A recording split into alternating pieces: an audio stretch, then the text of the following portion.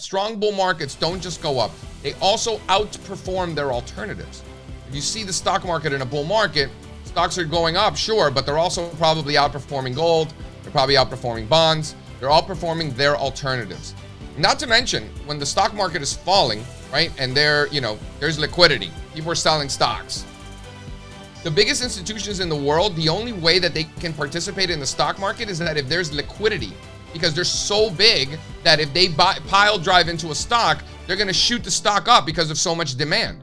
So they're hmm. looking for opportunities when there's a lot of liquidity, when there's a lot of sellers, so they could say, okay, we're buyers. So when you see the stock market overall having a bad day or a bad week or a bad month or a bad quarter, just a bad period, and they're falling in prices, look for the ones that are not falling. Look for the ones that are holding up the best.